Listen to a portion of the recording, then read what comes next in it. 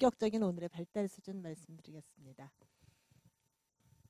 음, 자, 우리가 여태까지 여태까지 아홉 가지 유형 아홉 가지 유형에 대해서 지금 쭉 나누었단 말이에요. 그렇죠? 그래서 1, 2, 3, 4, 5, 6, 7, 8, 9 이렇게 나눈 거는 성격을 이렇게 그 평평한 평지 위에 올려놔서 아홉 가지로 나눴다라고 생각해 보세요. 자, 요것을 수평적 분류라고 얘기를 해요. 애니어그램의 수평적 분류는 아홉 가지 유형으로 이렇게 사람을 나누는 거예요. 이제 오늘 본격적으로 말씀드릴 발달 수준은 지금 보시는 것처럼 수직적 분류예요. 자, 1, 2, 3, 4, 5, 6, 7, 8 이것이 평면 위에 그려진 이, 이 그림을 평면으로 이렇게 놨다고 생각해 보세요. 평면적으로 사람이 아홉 가지 유형으로 나뉘어진다고 생각한다면 각 유형들이 1수준서부터 9수준으로 나뉘어질 수 있다라는 말이에요. 예. 그러니까 보통 우리가 이제 그 쉽게 말해서 아우 수준 차가 나서 같이 못, 못 만나겠어 뭐 이런 얘기 들어보시죠?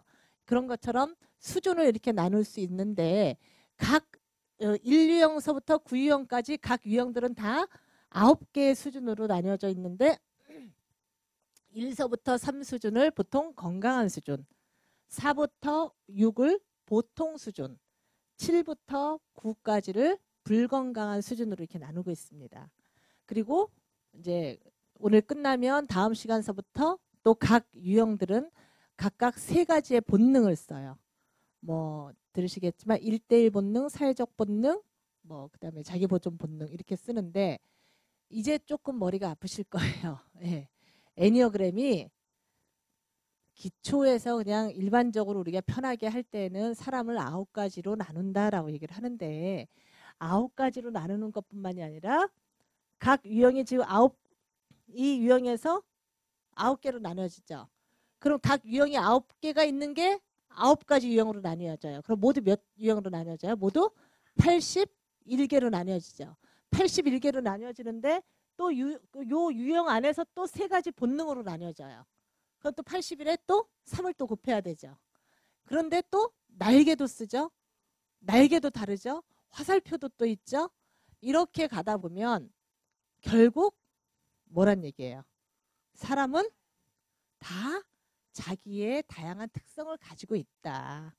그런데 그 중에서 가장 어, 우리가 좀 공통되는 집착들을 뭐가 뭐로 쓰고 있냐 그 집착을 좀 걷어내면 어떨까라고 해서 편의적으로 유형으로 분류를 한 거지 그 유형이라고 해서 다 똑같지는 않다는 얘기예요.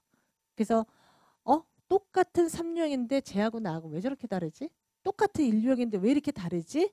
라고 얘기하는 건 오늘 얘기할 수준 차도 있고 본능의 차이도 있고 그렇다는 얘기입니다. 자, 그래서 음, 보통의 이제 건강한 수준과 보통 수준, 불건강한 수준 나누어지는데 건강한에서 보통으로 내려가고 보통에서 불건강한으로 내려갈 때 요거 경계가 되는 지역 있죠. 3과 4 사이, 6과 7 사이. 자, 요런 거는 아주 삶에 있어서 중요한 어떤 계기가 있거나 아니면 어린 시절에 형성된 불건강한 패턴으로 요 아래가로 내려가는 경계가 되는 구역을 그 리소의 에니어그램의 지혜 책에서는 쇼크 포인트라고 얘기를 합니다. 그러니까 충격 이런 충격들로 인해서 딱 구역의 건강에서 불건강, 불건강에서 뭐 보통 보통에서 불건강 이렇게 수준으로 이제 보통 나뉘어지게 돼요. 그래서 보통의 사람들은 우리 같은 사람들 보통의 사람들은 거의 다가 다이 4, 5, 6 수준에 보통 이렇게 있게 돼요. 4, 5, 6 수준에 있게 되고 어 1, 2, 3, 7, 8, 9에 있는데 어 예를 들어서 뭐 우리가 3수준이라고 한다면요. 만약에 어 3수준에 이렇게 그 이렇게 그 요게 못이 있다라고 생각을 하시고 못에다가 고무줄을 한번 걸어 보세요.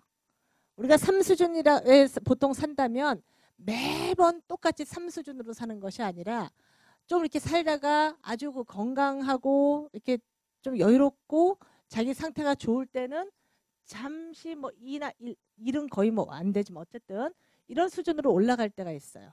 그러다가 탁팍 불건강하고 어떤 뭐 굉장히 그 충격받는 일이 있거나 그럼 또 딱 아래로 떨어지기도 해요.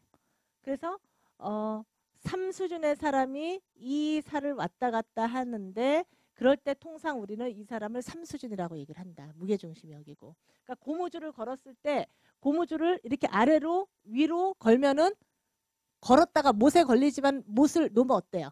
도로 제자리로 오게 되죠. 그래서 항상 우리는 이 긴장의 끈, 이게 의식을 확장하려는 노력을 고무줄을 팽팽히 담겨 있는 상태로 비유를 하시면 돼요. 이 사람 같은 경우는 이제 5, 6, 7을 뭐 4에서 8까지도 왔다 갔다 하는데 5, 6, 7에 이렇게 걸려 있다고 한다면 보통 몇 수준이라고 얘기할 수 있겠어요? 6 수준, 중간 정도. 예. 이렇게 얘기를 할 수 있겠어요. 그래서 기본 성격 유형, 예를 들어서 우리가 뭐 2유형이다, 5유형이다라는 유형은 바뀌지 않지만 끊임없이 우리가 어떻게 노력하느냐, 의식을 얼만큼 확장시키려고 노력하냐에 따라서 수준은 바뀔 수 있다라는 거예요. 그게 이 얘기입니다. 제가 처음에 말씀드렸어요. 자, 저 사람 성격 있는 사람이야. 그러면 성격 어떤 사람이라고요? 나쁜 사람, 까칠한 사람, 성격 더러운 사람. 예. 그래서 보통 성격 있는 사람을 우리가 긍정적으로 생각하지 않아요. 예, 성격이라는 것은 우리가 이 유형대로 살고 있다라는 것이고 이 유형대로 살고 있다라는 것은 어린 시절서부터의 본질로서부터 멀어져 와서 자신의 가면을 쓰고 있는 상태라 그랬죠. 그래서 내 집착대로 사는 게 편해 왔어요. 내가 옳은 일이야. 내가 옳은 일을 행해야 돼. 화를 내면 분노를 해야 돼. 아니면은 뭐 누구한테 뭔가 끊임없이 나는 베풀어줘야 돼. 어? 그래서 그런 것들이 나한테 익숙하게 생활돼 왔어요. 그래서 나는 그 유형으로 살고 있는 거예요. 2유형, 5유형, 1유형, 7유형으로 살고 있는데 그 유형으로 살고 있다라는 거는 내가 그렇게 살아야만 편했기 때문에. 그래서 점, 점점 더 편하다라는 것은 어떻게 된다고요? 점점 더 그 집착을 강화시켜서 스트레스 방향으로 가게 되는 거라고요. 예. 그러니까 내 성격에 내 성격대로 산다라는 것은 훨씬 더 나쁜 방향으로 안 좋은 방향으로 갈 수 있다라는 것이고 지금 내가 아 내 성격이 이런데 내가 이런 집착 때문에 이런 집착이 있는 줄 몰랐을 땐 편했어요. 그냥 그런 대로 살면 돼. 살아왔으니까. 나는 이런 사람이야 했으니까. 근데 이제는 아, 내가 그런 사람이야? 내가 그런 사람이었구나?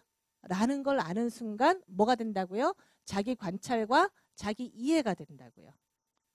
자기 관찰과 자기 이해가 계속 돼야지 변화가 일어난다라는 거죠.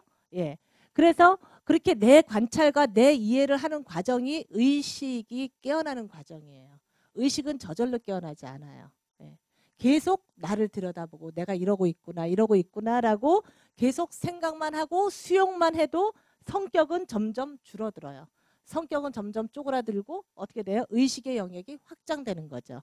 그게 아까 말했던 의식의 흐름, 의식의 성장 방향 쪽으로 가는 방향이에요. 그래서 성격이 있는 사람이야라는 건 부정적으로 들리지만 저 사람 참 의식 있는 사람이야라고 할 때는 어떻게 들린다고요? 굉장히 긍정적으로 바람직한 방향으로 들린다라는 거죠. 그래서 의식이 있는 과정으로 어, 가기 위한 이제 첫 번째 단계가 발달 수준을 보고 우리의 수준이 어디 있는가를 한번 점검해 본 다음에 수준을 높이는 작업의 일환으로 오늘 해본다라는 거예요. 그래서 어, 보통 이제 그래서 아까 원기둥에서 1수준에서 9수준까지를 보시겠는데요.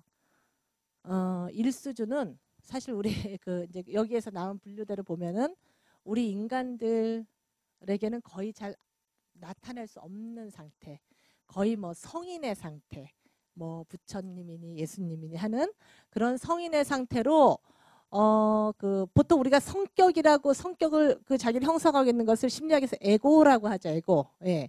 이 에고가 에고라는 자신의 어떤 가면을 쓰고 있는 것을 초월한 상태예요. 그러니까 이 에고가 진입하지 않는 아주 처음에 순수한 상태가 되는 거죠. 인간의 본성 그대로. 어, 그대로. 그래서 이, 이 집착점들을 우리가 진짜 초월한 단계가 본연의 유형의 미덕들이 있다라고 얘기를 하거든요. 이 미덕들이 실현되는 단계예요. 단계고 어 저희가 이제 제목 중에 하나를 성격을 넘어 본질의 바다로라고 얘기를 했어요. 바로 이 인류형이 성격이 본질로 전환되는 시점이고 본질로 들어서는 여정의 종착점이면서 본질로서의 여정이 시작되는 출발점. 그러니까 성격의 집착을 다 내려놓고 진짜 본질의 미덕을 발견하는 시점. 그러니까 우리 인간들한테는 나타나겠어요? 안 나타나겠어요? 거의 나타낼 수 없는 시점이긴 하죠. 그러나 우리는 이 지점을 향해서 여정을 가고 있는 거다. 그래서 1수준을 해방 수준이라고 얘기를 합니다. 자, 이 수준은 심리적 역량 수준인데요. 자, 기본적인 두려움의 굴복. 그러니까 누구나 다 내면에 어, 이 얘기를 나중에 좀 나오나 모르겠는데 어, 어, 보통 이제 여러분들의 부모님 한번 생각해 보세요. 부모님과 나의 성격이 똑같았나요? 달랐죠. 그래서 나는 나의 부모님과 어떤 면으로 이렇게 좀 대립하고 갈등을 겪고 살았죠. 그러면 그런 것과 마찬가지로 지금 여기 계신 여러분들과 여러분들의 자녀들의 성격이 또 똑같은가요? 다르단 말이죠. 그러니까 부모는 부모는 끊임없이 아이들한테 그렇다고 그 부모님들이 여러분들이 아이가 미워서 아이가 너무 그래서 진짜 그막 이렇게 내쳐놓고 아이가 잘못되라고 그렇게 잔소리를 하거나 그러진 않으신 거잖아요.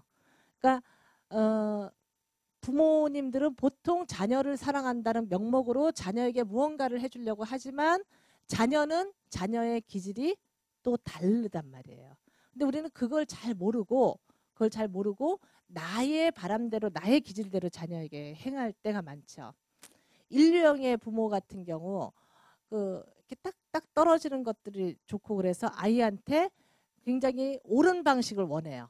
어, 너 이렇게 일찍 일어나서 학교를 가야 되고 그렇게 뭐 학교 길 건널 횡단보도 어, 건널 때는 반드시 뭐 파란불이 켜져야 건너야 되고 어때야 되고라고 아이한테 얘기를 하는 게 사랑의 방식이었어요. 근데 그 자녀가 가슴형의 아이였을 때 2, 3, 4유형의 아이였을 때 이 아이한테는 그런 말들이 다 뭘로 다가오겠어요? 잔소리 넘어서 잔소리를 넘어선 자신을 향한 공격, 뭐 상처로까지도 받아들일 수 있거든요. 네.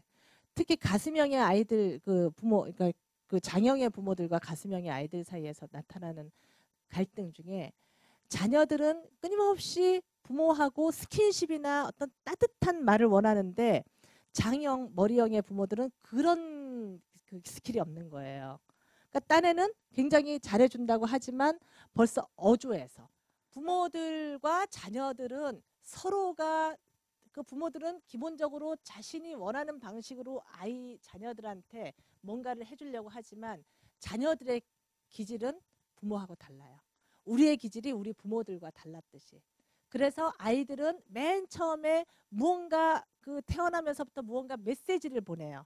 메시지를 보내는데 이 메시지가 탁 해서 꽂혀야 되는데 아까 그 예를 들은 것처럼 탁 해서 부모한테 가서 꽂히지 않고 턱턱 자기한테 다가오는 그 무언의 메시지를 받기 시작하면서 어려서부터 기본적인 두려움이 생기기 시작한다라는 거예요. 애니어그램에서 보는 건.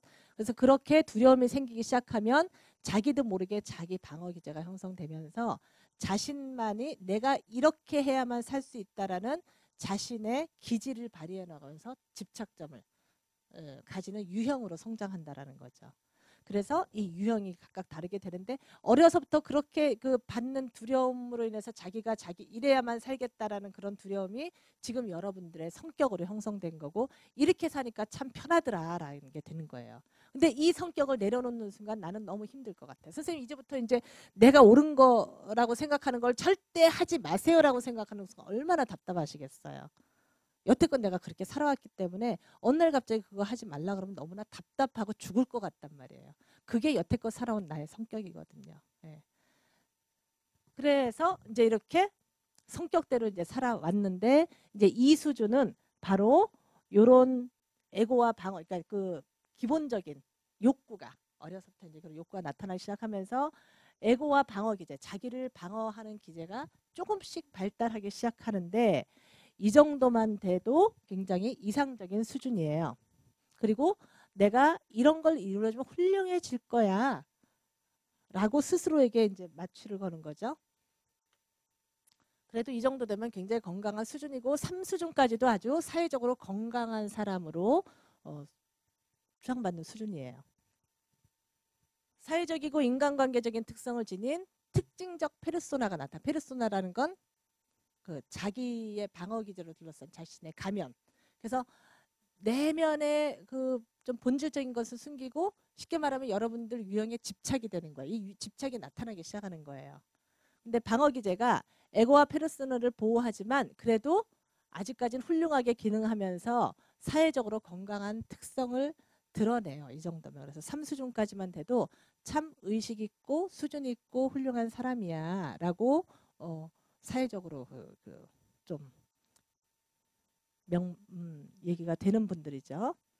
그러다가 이제 이 부분이 딱 한 번에 쇼크 포인트를 거치면서 이제 그 4수준으로 내려가는데 이 4수준으로 내려갈 때 자, 건강한 범위에서 평균 범위로 올라가는 그 쇼크 포인트의 신호들이 각 유형마다 있어요. 이런 유형들이 이제 자기 안에 자기도 모르게 자기도 모르게 이렇게 형성되면은 요런 것들로 인해서 내가 건강한 범위에서 불건강한 범위로 아니야 그 불건강은 아니죠 보통의 범위로 살고 있는 거예요. 인류형 같은 경우는 내가 모든 것을 개선시켜야 된다는 의무감 이 의무감에 사로잡히기 시작해요. 그래서 내가 아니어도 물론 그러니까 이게 참 힘든 거죠 인류형한테는 선생님이 그걸 다 하려고 하세요? 그거 잘못된 거잖아요. 이게 바로 자신의 그 유형의 압박감이에요. 어, 자신의 유형. 그러니까 가, 그 자신에 대한 자신 비판도 강하고 옳다라는 것이 그런 신념이 강한데 이 옳다라는 신념이 내가 모든 것을 다 고쳐야 된다라는 그런 강한 의무감에 사로잡히기 시작하면 이제 모든 것들을 나에 의해서 이것이 조작돼야 되고 나에 의해서 이것이 그 개선돼야 된다는 의무감을 느끼죠. 이유영 같은 경우는 사랑받고자 뭐그 계속 이제 선의 행동을 한다 그랬죠. 다른 사람들의 마음을 얻기 위해서 그들에게 다가가야 된다고 믿어요. 근데 이 믿고 뭐 의무감을 느낀다 이게 어 나는 안 그런데 당연히 안 그러죠. 이렇게 내가 지금 그렇게 생각하고 있으면 그거는 의식으로 올라온 부분이라고요. 의식적이지 않게 내 안에 이렇게 들어가 있다라는 거예요. 무의식적으로.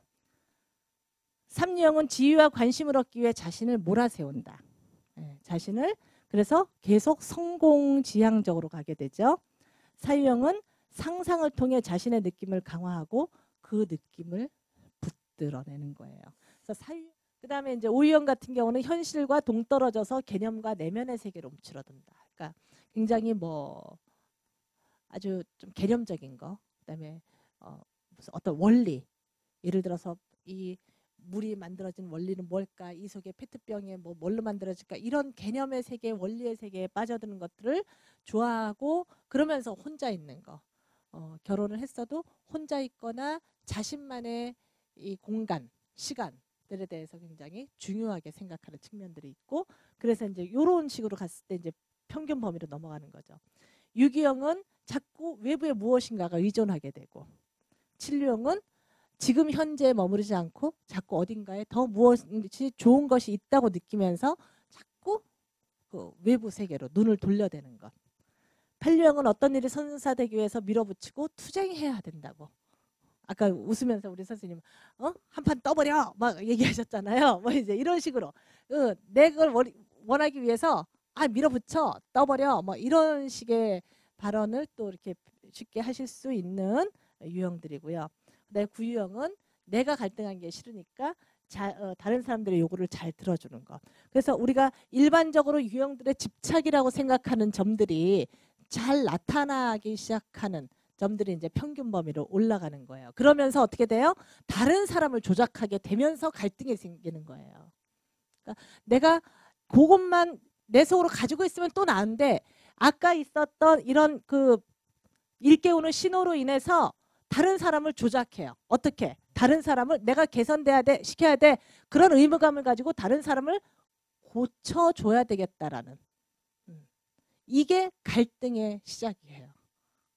그 다음에 이유형은 다른 사람들의 필요와 욕구를 찾음으로써 자신에게 의존하도록 만들어요.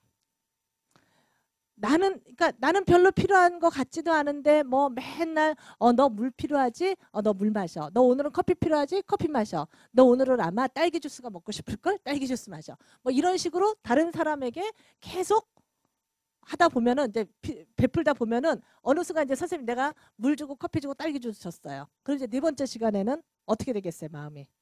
은근 아, 오늘은 뭘 가져올까?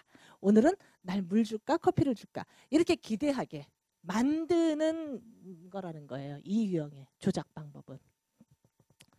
근데 3유형은 무엇이든지 효과가 있는 이미지를 채택해서 자기가 타인에게 매력적인 사람이 되도록 그래서 자꾸 매력적인 이미지를 연출해내는 것 이러면서 타인을 조작해내는 거고요.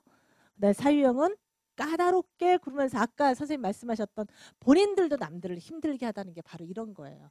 본인도 남들을 힘들게 하면서 마치 자기는 아닌 것 같은데 보통 그러니까 보통 자기는 아닌 거라고 느껴요. 그렇죠? 느끼는데 타인들을 보통 사유형들은 참 주변을 힘들게 하는 사람들이 많아요. 은근히 까탈부려. 그렇죠? 다들 끄덕끄덕 하셔요. 네. 네. 그래서 살얼음 위를 걷게 만들고 보, 결코 옆에 있는 사람들을 편하지 않게 놔둔단 말이에요. 그런 식으로 조작하고요. 오유형은 자신의 내면에 몰두함으로써 감정적으로 타인에게 자, 이 사람들은 타인으로부터 아예 물러나 있어요. 떨어져 있어요. 그러면서 타인을 이렇게 외부에다가 두게 되는 거죠. 유기형은 불평함으로써 타인이 자신에게 얼마나 충실한지 그러니까 계속 자신이 의존하고자 하는 대상에게 자기도 모르게 계속 불평불만을 얘기해서 그 사람이 자기를 도와주고 그래서 내가 그 사람에게 의존하는 그런 패턴을 만들어내는 게 유기형의 조작 방법. 진리형은 타인을 혼란스럽게 하면서 타인이 자신의 욕구를 충족시켜야 한다고 주장한다. 이거는 그러니까 진리형은 막 이렇게 빨리빨리 막 이렇게 그 머리가 빨리빨리 돌아간다 그랬잖아요. 그러니까 진리형은 본인도 모르는 사이에 여러 가지 대안들이 막 제신돼 있어요. 그러니까 선생님들 좀 이제 진리형을 이해하시려면 뭐 그러니까 A 남들은 어떠한 대안에 대해서 A라는 대안 하나만 생각할 때 진료형 같 진료형의 대부분은 A, B, C, D, E 뭐 이런 대안들을 막 자기 혼자 막 머릿속에서 자기도 모르게 이제 그게 그게 패턴으로 그렇게 살아왔으니까 그렇게 되는 거예요. 예? 네. 그래서 그래서 에 보통의 사람들은 근데 저도 이제 남편하고 좀 이게 약간 뭐 트러블 있는 것 중에 하나가 이런 거였거든요. 그러니까 남편은 A면은 A만을 해야 이렇게 마음이 편한 사람이에요. 근데 저는 A도 좋지만 B, C, D, E 막까지 생각해요. 그래서 A가 뭔가 안 될 때 B 할까? C 할까? 자꾸 이렇게 하면 나중에 도대체 당신은 왜 이렇게 어? 생각 많고 산만하고 하나만 해 하나만 이러는데 이 하나만 하기에는 뭔가가 모자란 것 같고 좀 더 다른 것도 좀 있었으면 좋겠고 하다 보니까 B도 얘기해보고 C도 얘기해보고 그만큼 또 융통성도 있고 즉흥적인 성격이니까 이러면서 다른 사람을 혼란스럽게 하는 거예요. 죄송합니다. 제가 대신. 그래서 어, 타인이 자신의 욕구를 충족시켜게 만드는 거. 그러니까 타인을 혼란스럽게 해서. 그러니까 다른 사람에게 있지 않는 대안을 미리 머릿속에 막 혼자 이거 계획이 막 돌아가는 거예요. 그렇게 하면서 혼란을 주는 방식이라서 칠류형이 힘든 게 이제 바로 이런 점들인 것 같고요. 어, 판류형은 다른 사람들을 지배함으로써 자기 말대로 행동하게 만드는 거. 그러니까 자기의 의지를 관철시키는 거죠. 구유형은 물러남으로써 수동적인 공격으로 타인들에게 저항하는 것. 수동적인 공격, 구유형의 이 수동적인 공격은 자기가 원하지 않으면 절대 탁, 예, 움츠러, 딱 멈춰서서 절대 움츠러 들지 않는 쇠고집 같은 거 구유형한테 예, 있죠. 그래서 어, 행동을 하지 않지만 그 사람을 따라가지는 않지만 내가 아, 그러니까 절대 그러니까 그 동의는 안 하는 방식으로 이렇게 가는 거죠. 이런 식으로 사람들을 조작하면서 어떤 수준으로 4, 5, 6의 이제 평균 수준으로 살게 되는 거예요. 예. 그래서 평균 수준들은 우리가 애니어그램에서 말하는 이 집착점들이 거의 잘 나타나는 수준들이에요. 자, 4 수준의 불균형 수준은 이제 그 건강한 수준의 예, 좀 건강에 있었던 에고와 방어 기제가 이제 강화되면서 균형을 잃기 시작해요. 그래서 나 이콜 에고. 그러니까 집착점을 가진 내 유형 이꼴 나. 아까 원의 그림으로 봤을 때는 이 성격과 의식이 있었죠. 성격이 이제 점점 커지기 시작해서 내가 그 사람의 그 유형이다라고 생각이 되는 거죠.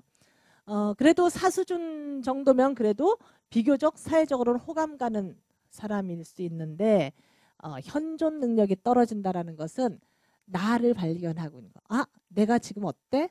내가 이러고 있구나. 자기 인식이 조금 떨어지는 상태예요.